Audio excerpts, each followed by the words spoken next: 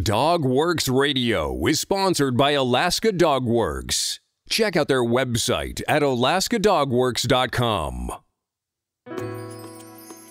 This episode of the podcast is brought to you by First Paw Coffee Company, specializing in private label premium blend coffee.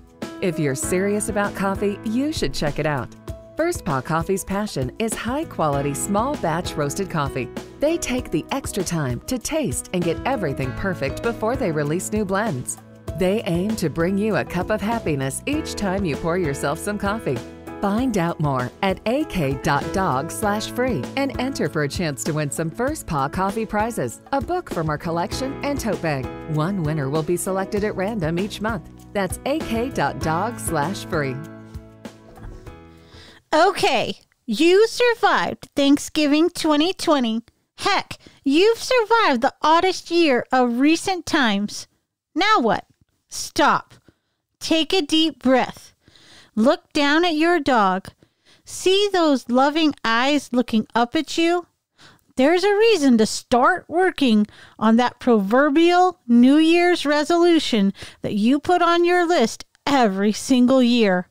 You know the one that says something like lose weight, get more active, join a fitness club. Maybe you start out on January 2nd and get a good groove going, but then you tap out before Valentine's Day. Well, this show is going to help you get started before you've even made that resolution list. From First Paw Media, sponsored by Alaska Dog Works Professional Canine Training Center in Anchorage, Alaska. This is Dog Works Radio, committed to families and their dogs to build lifelong and fulfilling relationships.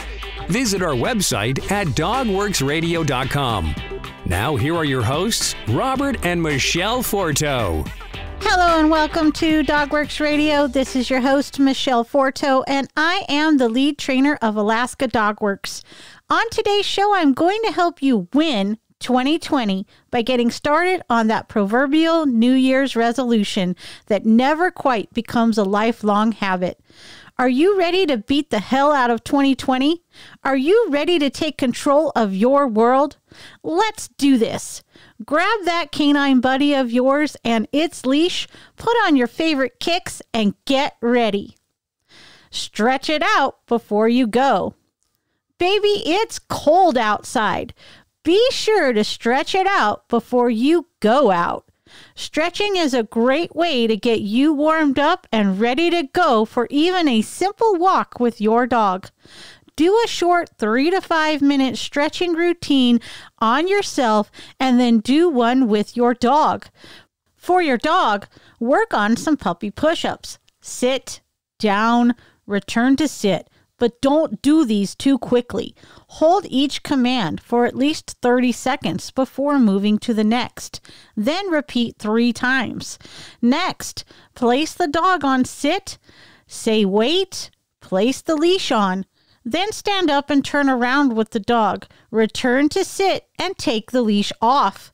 This sounds ridiculous, right? Well, this exercise alone will teach your dog some patience when he sees the leash or you're trying to place it on. After you've done that three times, then leave it on and simply walk your dog around the house, up and down stairs, etc for about five minutes. At thresholds, have the dog wait and do a stand stay or a sit stay, maybe even one or two down stays. Then head towards the door. Here's a bonus tip if the weather is too frightful, this routine alone will get you both warmed up and stretched out and can be repeated several times a day. All right, out for a walk. Now, that we're all warmed up and stretched out, let's go outside. Now, here's something you may not be thinking about. You don't have to brave those icy sidewalks or streets or that dark trail. Simply work out in the driveway that you've cleared, doing some of the same things you were doing inside. If you do that for another five minutes before heading out for the walk, it will help your dog with patience and demonstrate to them that the walk is on your terms, not theirs. Again, if the weather is too frightful, you can simply go back inside from the driveway. If your canine buddy is too excited, go back inside and try later or the next day. The whole idea here is to develop patience so that you're both moving your bodies, getting those endorphins going. And here's the biggest takeaway developing a routine that you'll both be able to enjoy and stick with. Head out on your walk. Determine if you and your dog are ready to walk the block or just go a few houses.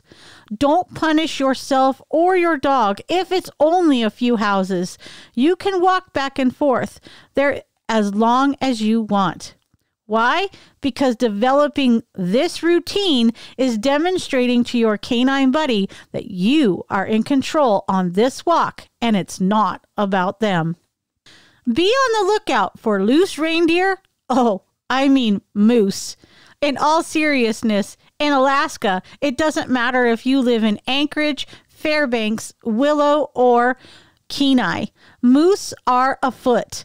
They don't care about roads, trees, or your freaked out canine buddy.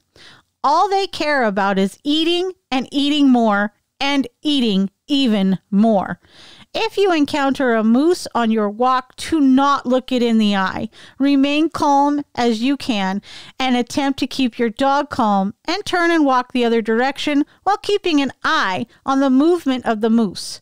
Whenever I take dogs for walks here in Willow, even with all of the sled dog kennels in my neighborhood, I make noise. This helps let the moose know we're out here too and they should move along. So, no excuses, not even if there's a moose.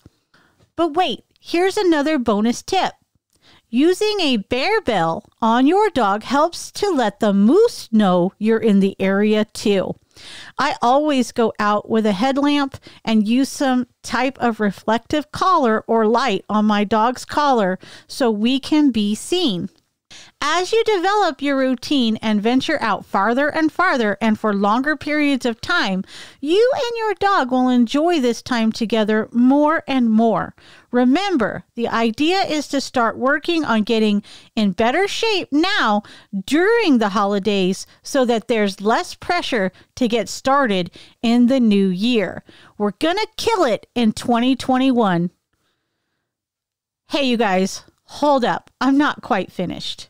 For fun, here's some of the top 10 resolutions from my favorite canine buddies. They made a list for you. Bodie says he wants to shed a few pounds in 2021, so eat less cookies. Reagan says take more naps, be less grumpy. Stryker says, getting my seizures under control with diet, exercise, and medication, feeling like a new dog already. Dutch says he's looking for a career change from sled dog extraordinaire to dogs assisting with Grace therapy dog. Watson says he loves going on car trips with Robert and hopes to get to do more in 2021. Ruby says, Yo, put me in, coach. I'm ready to lead. Practicing more and more so I can earn that coveted position. Wait, Shock says, Give me a bark, Ruby. You've got a lot of miles to go to knock me out of the position. Shock also says she's looking forward to 2021 and meeting more of Robert's students from the college. Falcor says, If I promise to bark less, will I get more treats? Frosty. Frosty says, Don't let the name fool you. Wake me up when December ends. I look forward to spring runs. The trails are faster. And Jagger says we should all take a moment and look around. Be thankful for what you have and always strive to be better. We're going to take a short break, and when I come back, we are going to talk about going behind the breed and learn all about the Australian Shepherd. So earlier, you learned about First Paw Coffee Company. Now I'm going to tell you about its Trailbreaker blend. First Paw Coffee Company's Trailbreaker Blend is inspired by our love of the Northern Lights, frosty paws, and sled dog trails. How cool is that? The Trailbreaker Blend is a private label premium blend that was developed just for them. It's a medium dark roast from Central and South America, highlighting flavors of brown sugar, hazelnut, and plum. Be sure to go to ak.dog slash free and enter to win a bunch of cool prizes. That's ak.dog slash free. Okay, guys, let's learn about the Australian Shepherd. Did you know the Australian Shepherd is descended from a line of Europe's finest herders? The Aussies World Tour began in Europe near the Pyrenees Mountains. It was here in the borderlands between France and Spain where the indigenous people known as the Basques built their centuries old reputation as world class shepherds. Their herding dog of choice was called the Pyrenean Shepherd progenitor of our modern Aussie. In the early 1800s, Australia's Anglo Americans began to push into the continent's vast interior in search of rich pasture land for cattle ranching. Eventually, many Basques, with their faithful shepherd dogs in tow, sailed east to try their luck on the virgin Australian continent, a wide open paradise for sheep herders. During their long sojourn in Australia, the Basque shepherds refined their dogs with judicious crosses to Australians' British imports, collies and border collies among them. After building up their flocks, the intrepid Basques left Australia for greener pastures, literally, and set sail to California. California ranchers admired the Basques' herding dogs and assumed they were an Australian breed, thus the misleading name Australian Shepherd. Aussies, further refined and perfected in America, have been an iconic part of cowboy culture ever since. Many are still happily herding in the American West. Others earn their feed as rodeo performers, and still others of this exuberantly versatile breed work as therapy dogs, drug detectors, service dogs, and search and rescue dogs. The Australian Shepherd entered the AKC herding group in 1993. The Australian Shepherd is an intelligent working dog of strong herding and guarding instincts. He is a loyal companion and has the stamina to work all day.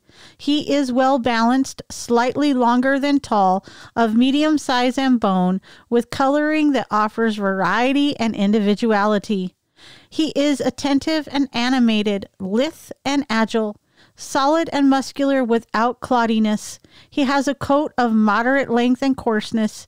He has a docked or natural bob tail. Here are some quick facts. They're smart, work oriented, and exuberant.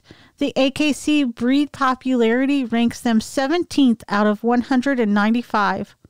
They the height is 20 to 23 inches tall for males, 18 to 21 inches tall for females. Weight is 50 to 65 pounds in males, with the females weighing in around 40 to 55 pounds. They have a life expectancy of 12 to 15 years and they are classified in the herding group. Care and training. A high energy athletic dog, the Aussie needs a great deal of exercise on a daily basis. At minimum, he should have a large fenced in yard to run around in for at least an hour or two daily. Aussies bond closely with their owners and love to accompany them on long walks or, better yet, hikes. Once an Aussie leaves puppyhood behind and his skeletal system is fully formed, he can make a great running companion. The best course, however, is to give the Aussie a job, whether that is herding livestock, shepherding children, or competing in canine events such as obedience, herding, or agility trials, or even dock diving. Early socialization and obedience training are both musts for the Australian Shepherd. One of the most frequent reasons Aussies end up in rescue situations is owners couldn't or wouldn't constructively channel the breed's boundless energy through training. Aussies bond strongly to their families and so can be territorial and overprotective of their owner's property, and they can become destructive if left uh, without companionship for long periods too often. Fortunately, that loyalty combined with the breed's keen intelligence and high energy makes them very easy to train. Aussies are generally healthy dogs, and a responsible breeder will test breeding stock for health concerns such as hip dysplasia, epilepsy, cataracts, and certain forms of cancer.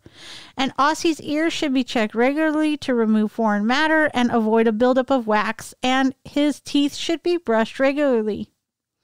Would you like to learn more about how to train your Australian Shepherd to be one of the best trained dogs? Head over to our website, alaskadogworks.com, to learn more. And as always, check out our social channels. Just search Dogworks Radio. Please tell your friends and family about our show. It is the best thing you can do to help us out. See you next time. This episode of the podcast is sponsored by First Paw Coffee Company. Learn more at firstpaw.coffee. From First Paw Media, this is Dog Works Radio. We hope you enjoyed this podcast, and we invite you to subscribe in Apple Podcasts, Spotify, Stitcher, or wherever you get your podcasts. You'll find a link on the episode notes. You can tap or swipe on the episode cover art, and you'll see some offers from our sponsors. You can support our show by supporting them.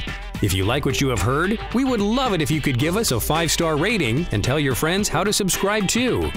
Your hosts are Robert and Michele Forto. Our producer is Robert Forto and created for First Paw Media. Did you know that Alaska Dog Works trains service dogs for those in need throughout North America? Each and every service dog that is trained through the Lead Dog Service Dog Program and Michele Forto and her team has an individual training plan. We train for autistic, mobility, psychiatric, and PTSD for our soldiers for service work.